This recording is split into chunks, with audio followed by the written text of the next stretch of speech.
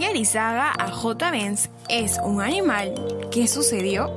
El día de ayer Angerizaga concursaba en el programa Esto es Guerra, preguntas y respuestas a lo que Joana San Miguel le indicó que diga cinco animales que se puede criar en casa, lo cual la bella negrita menciona el perro, gato, pájaro, hámster e iguana, pero Yampiero Díaz dijo J también, a lo que la bella competidora se rió de ese comentario mirando a su bello enamorado.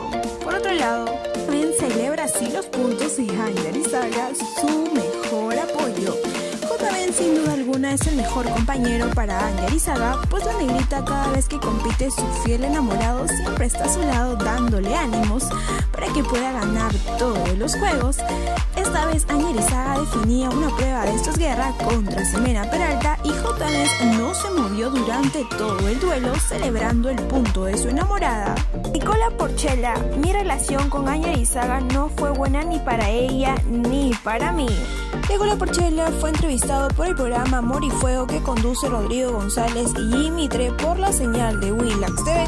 El ex chico reality fue con la convicción de hablar sobre todos los temas que nunca se pronunció uno de esos temas de los que nunca se habló fue sobre la relación que mantuvo con Anja Arizaga. Dimitre fue quien comenzó preguntándole a Nicola Porchela sobre su tormentosa relación que mantuvo con la competidora de Esto es Guerra.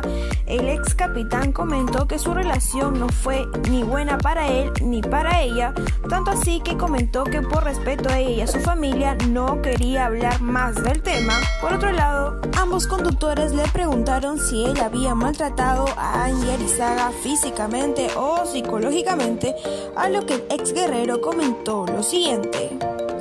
Juro por mi familia, por mi padre que esté en un sí que yo nunca maltraté a Angie, lo que el conductor de Amor y Fuego comentó que maltratar no solamente es físicamente, sino también verbal, situación que muchas veces fue evidenciada en el programa de Esto es Guerra y fuera de cámaras también.